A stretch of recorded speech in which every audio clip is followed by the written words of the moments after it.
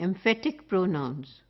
As the word is very clear by its meaning, so the definition comes to be very simple. Emphatic, having some sort of emphasis.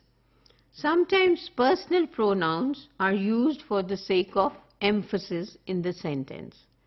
So basically, the personal pronoun is being used with the reflexive pronoun in order to emphasize on some action that is being done. So the example here is I myself saw him do it. Now when we talk about the personal pronoun and the reflexive pronoun coming together, it is different from the example that we did in the previous uh, slide which said I hurt myself. So the verb came in between the subject and the object. Here the personal pronoun I and the reflexive pronoun myself are coming together without the intervention of a verb.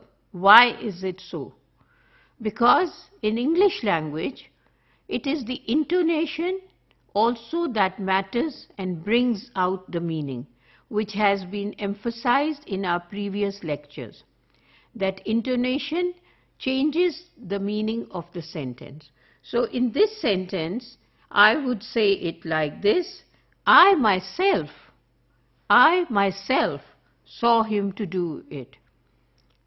It cannot be I myself. It has to be I myself. There has to be emphasis on that in order to bring out the meaning. The emphasis is that nobody else did it. I myself saw him do it. I am very sure that I myself saw him do it. So the emphasis is being brought by joining the personal pronoun with the reflexive pronoun.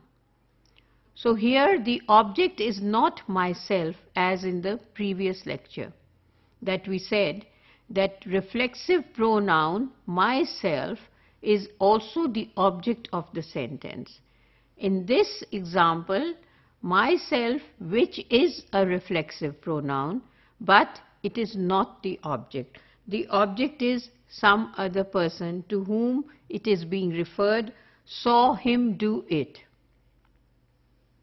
If it was I myself saw him take the book, then the book would have been the object. Take would have been the verb. But here, because the personal pronoun and the reflexive pronoun, they come together, then it is known as emphatic pronoun. You yourself can best explain. You yourself can best explain. Again, the intonation factor is very important. You can't say it like this, you yourself can best explain.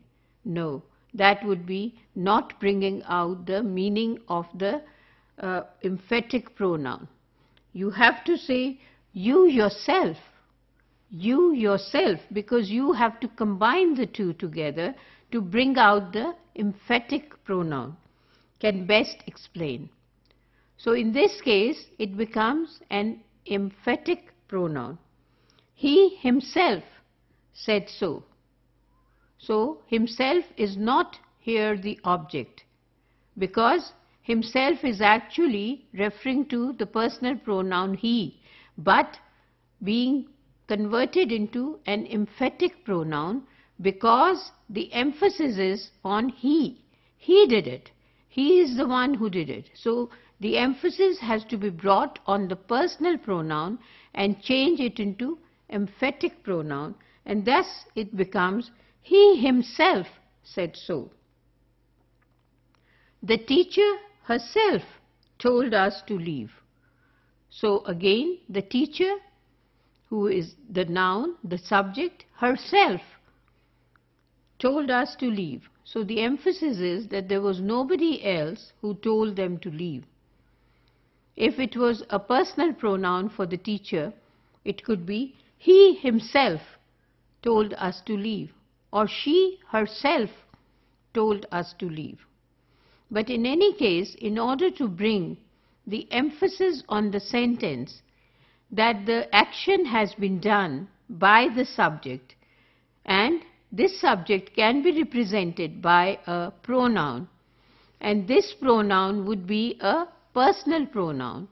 So when a reflexive pronoun would be added immediately after the personal pronoun, it would then become an emphatic pronoun in order to emphasize on the meaning of the sentence.